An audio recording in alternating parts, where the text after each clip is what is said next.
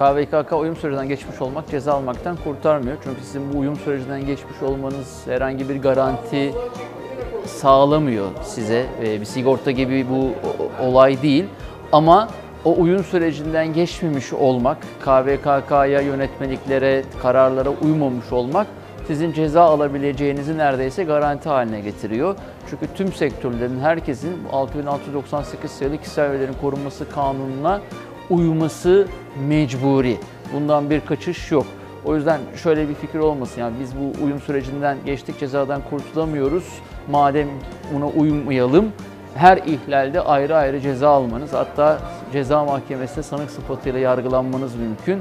O yüzden şirket olarak itibarınızı da arttırmak için mutlak ve güvenilirliği sağlamak için mutlak surette uyum sürecinden geçmeniz gerekiyor.